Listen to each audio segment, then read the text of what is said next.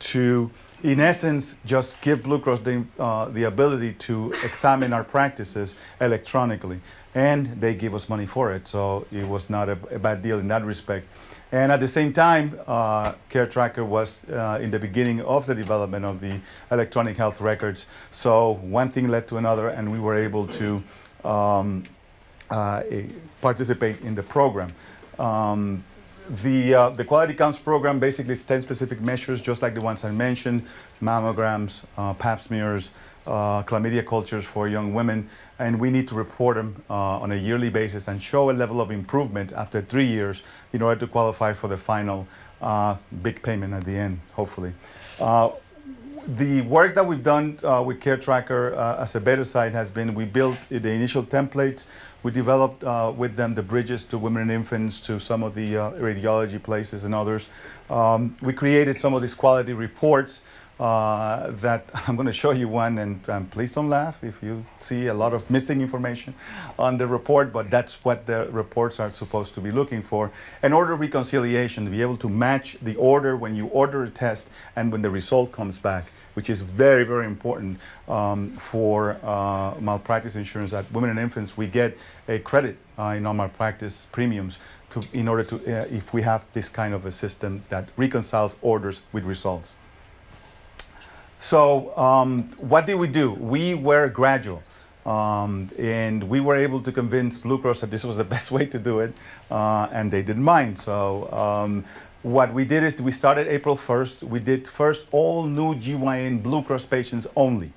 Um, and because there was no paper for them to begin with, the process of integrating them into the practice was easy and simple and seamless. Then after four months, uh, we incorporated all GY, all new, all new GYN patients. Again, people that don't have any paper and you know, getting people familiar with the software. In January 1st is when we went all out and started doing all annuals.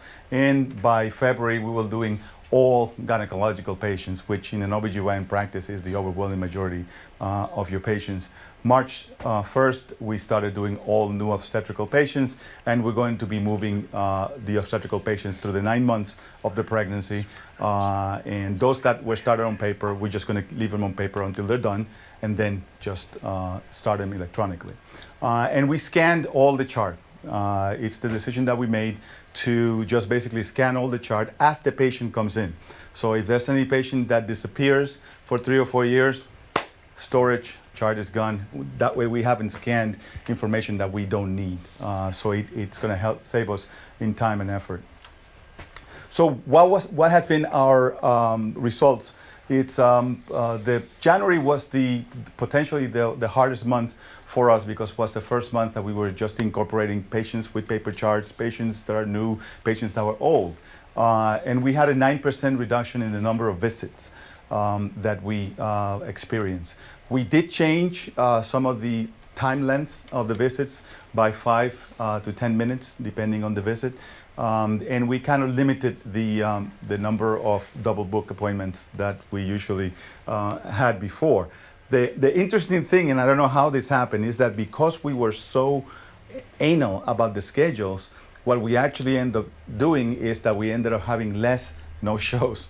Don't know how that happened, but it did happen, and, and it also uh, eliminated some of the um, uh, reduction in productivity.